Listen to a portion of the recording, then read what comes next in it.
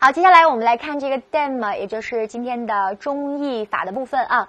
好，嗯，第一句话，只需要登上埃菲尔铁塔就能一览整个巴黎城的风景。看到这句话，你是不是觉得很清楚应该用哪个短语呢？我们说只需要什么什么就够了，这个叫做 il suffit de faire quelque chose pour faire quelque chose。OK，只需要 il suffit de 登上 la Tour Eiffel。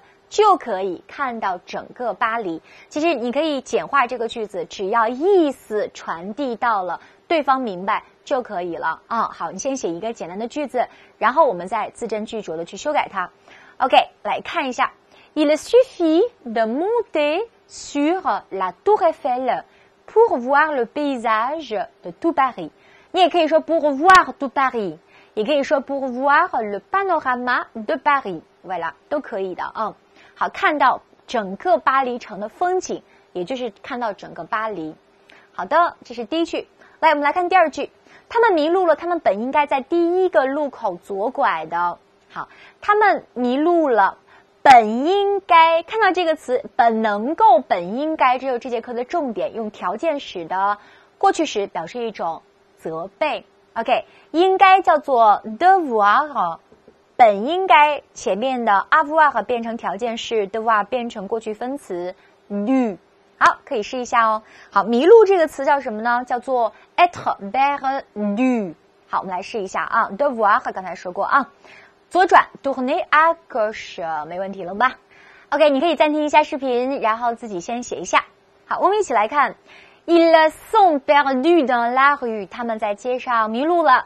Ils auraient dû，OK，ils auraient dû，条件式的过去时，对吧？Tourner à gauche au premier carrefour，在第一个路口。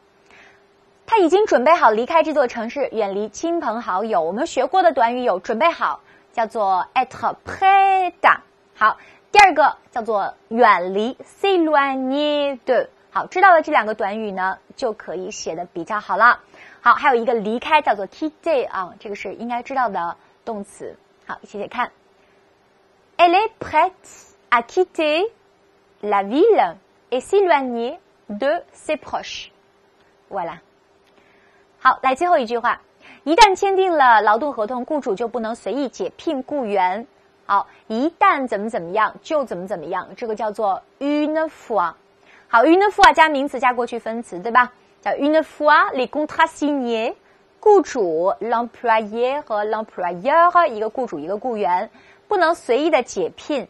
解聘这个词应该用什么呢？好，应该用的是 renvoyer，OK，renvoyer quelqu'un。